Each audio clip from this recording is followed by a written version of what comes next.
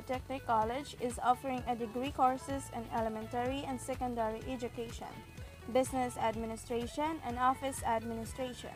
GHPC also provides basic education programs for students from preschool through senior high school, and the senior high school department offers the ABM, HUMSS, and TVL strands.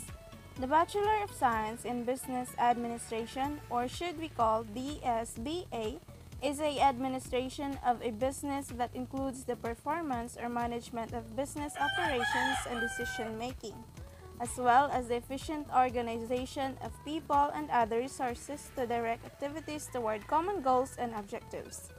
Bachelor of Science in Office Administration, or should be called BSOA, is a program designed to provide students with knowledge and skills in business management and office processes needed in different workplaces such as general business offices, legal or medical offices. And also, in Golden Heritage Polytechnic College, they offered senior high school for their beloved students, which is the ABM strand, UM strand, and TVL strand.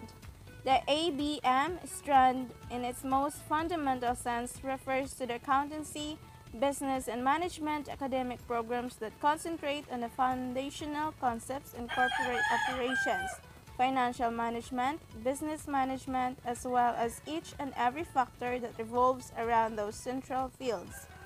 UM stands for Humanities and Social Sciences. It is one of the strands offered to senior high students. This strand is for learners who aim to take up journalism, communication arts, liberal arts, education, and other social science related courses in college. TVL students gain a lot of skills skills for opportunities to come. TVL students learn and earn skills and knowledge for the future.